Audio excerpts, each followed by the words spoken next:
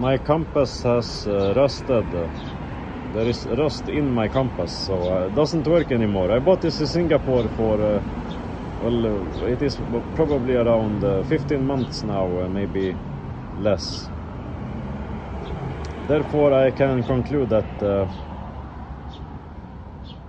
Decathlon does not really do much um, product testing and researching and before releasing to market.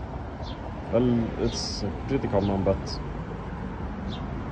my biggest complaint goes to Singapore then, of course, because it's only lets in uh, unsustainable companies. Just, uh, just want to make a quick buck. Not like me. I want to make someone, someone uh, happy for their entire lives, like myself. That's why I am so sad at the moment. Oh.